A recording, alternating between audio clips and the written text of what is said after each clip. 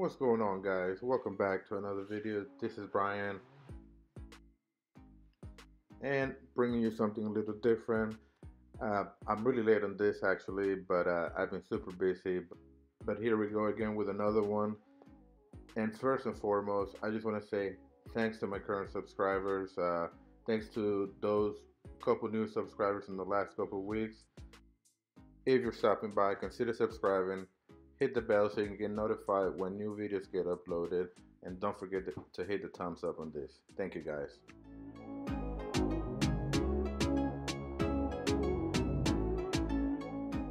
As we can see, we have the Ghostbusters Classic Shoes by Reebok. These shoes released on October 31st at 12 a.m. for 100 US dollars.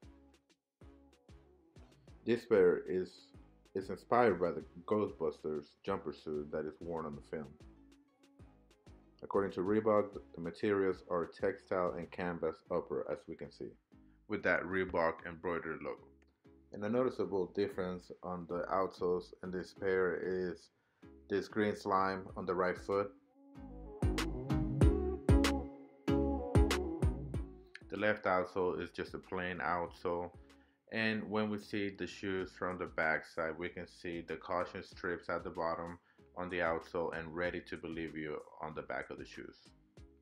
Another neat feature is the insoles as we can see representing the guns shooting the ghost and imprinted on the insoles they have Don't Cross the Streams, the Reebok logo and the Ghostbusters logo.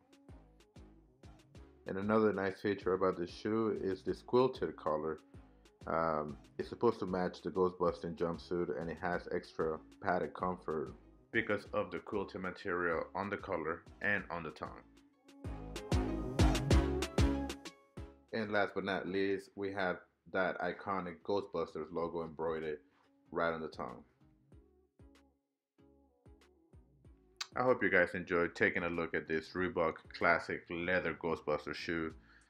Remember to hit the like. And if you want to stick around for that on foot, we got that for you. Until next time, peace.